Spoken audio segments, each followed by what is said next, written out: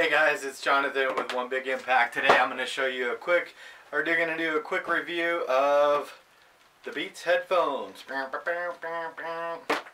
Okay, so obviously, as you probably noticed right away, they're awkwardly large.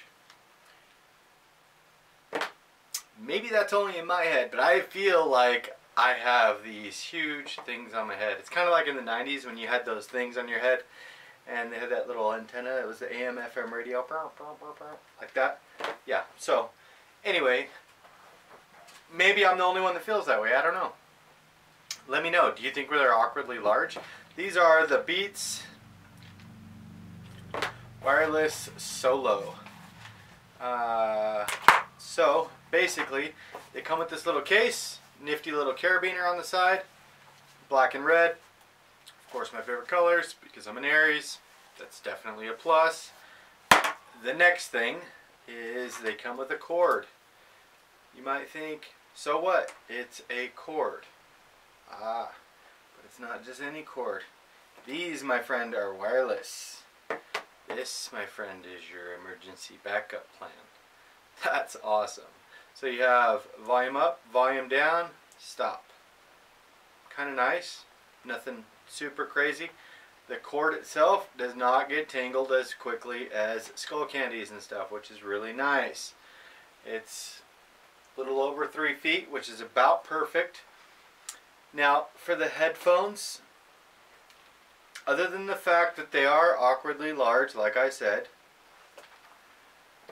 they are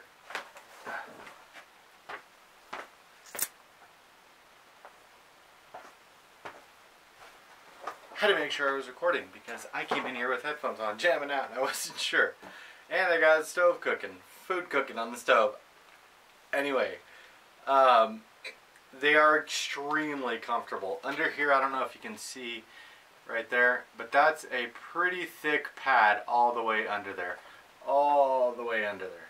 And it's got uh, these have probably got to be the softest material I've ever had in my life. It does cancel a lot of the noise. Well, it, can it cancels all the noise. If I have it all the way up, they cancel all the noise from the outside.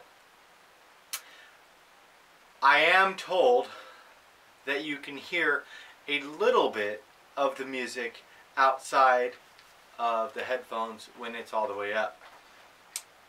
But if you have them on your neck, you can hear all of it.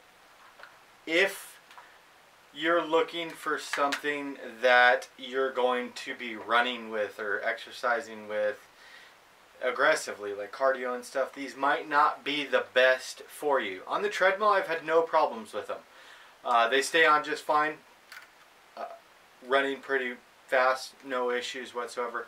But if you're like hiking, uh, fast runs and stuff through the wilderness where there's a lot of jogging, jumping around and stuff like that, be careful um, because if you drop these suckers, there goes you know three four hundred bucks.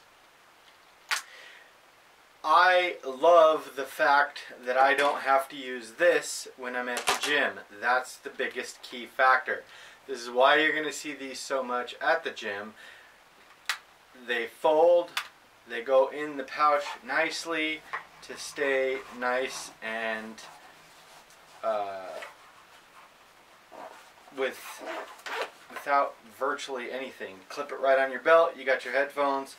I know it's kind of bulky, but um, you get a nice stereo sound. You're not going to get like the earbud sound is very piercing and deafening into your ear, which is very well desired for me. I like it a lot.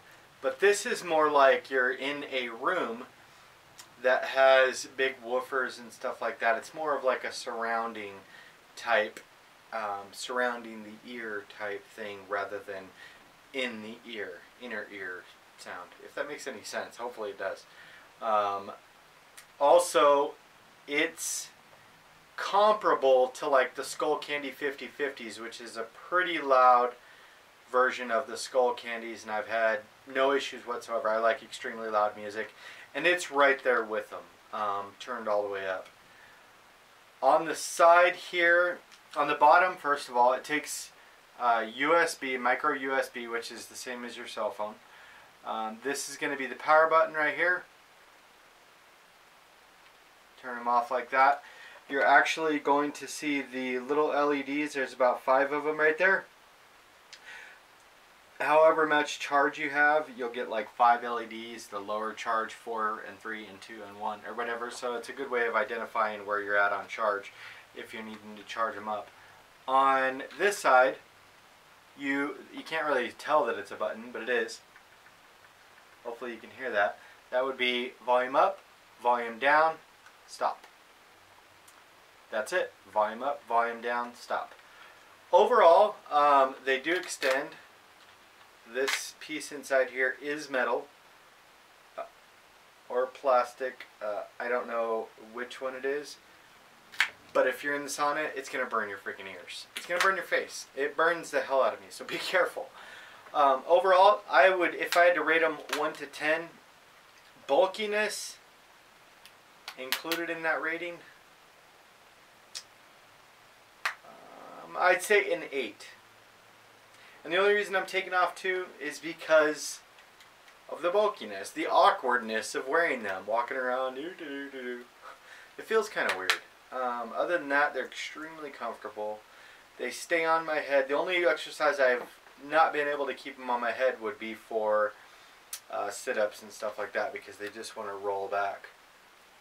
Uh, other than that, I think that's about it. That's the Beats Solo Wireless review. And if you have any questions or comments, please feel free to put them in the section below. Uh, my name is Jonathan, and this is One Big Impact, and that was your review today. Please like, share, comment, and subscribe to our channel.